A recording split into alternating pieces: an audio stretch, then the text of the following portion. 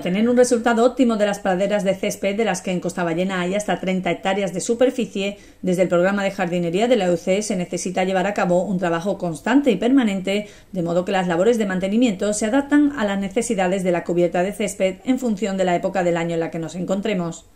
Labores de siega, abonado, escarificado y limpieza se realizan por parte de los operarios de la entidad a lo largo de todo el año de manera recurrente.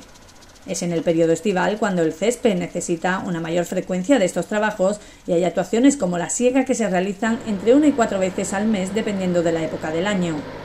Las necesidades de agua y abono, coincidiendo con las altas temperaturas y la mayor frecuencia de siega de los meses estivales, hacen que estas actuaciones también tomen mayor protagonismo.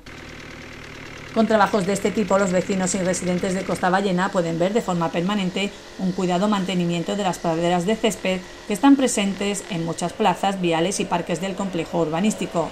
Extensiones, algunas de ellas muy amplias, que nunca se ven descuidadas, ya que para la EUC es fundamental que sus zonas verdes presenten siempre la mejor cara. El mantenimiento del césped responde a una necesidad funcional y estética para conseguir que los espacios públicos abiertos que están ornamentados con estas plantaciones ofrezcan un entorno agradable al paseo, al ocio y a la estancia. La EUC siempre trabajando por mejorar los estándares de calidad de Costa Ballena.